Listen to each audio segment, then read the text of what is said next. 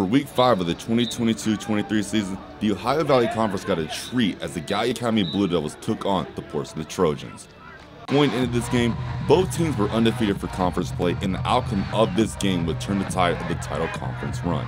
Heading into the first quarter, the Blue Devils' Hudson Chandler was able to give his team the early lead, but the Devils could not capitalize on the extra point, making it a 6-0 lead. But the Trojans would not make this easy. Minutes later, Tyler Duncan was able to get the first score of the game.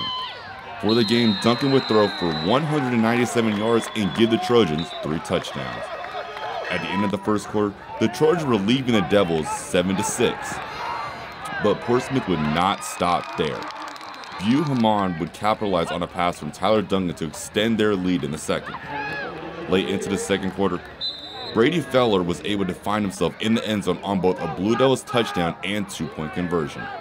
Minutes into the third quarter, Noah Highland would get a 33 yard pass to find himself in the end zone.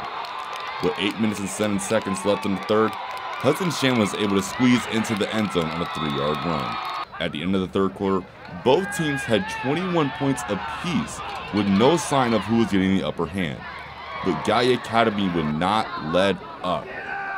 With the 53-yard run by Brody Feller, he was able to get the Blue Devils another score, but with tremendous defense by the Trojans, Gallia Academy was not able to get the extra point.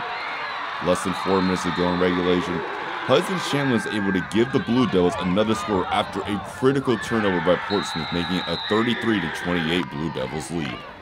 But with time still on the clock, the Trojans are still able to score on their final drive of the game with a one-yard pass to Reedy Pendleton, making a 33-34 Portsmouth lead. To Gallia Academy, they need something short of a miracle, and that is exactly what they received. With 9.6 seconds left to go in the fourth quarter, Caleb Stout was able to give the Blue Devils a game-winning 31-yard field goal attempt to give Gallia Academy the win.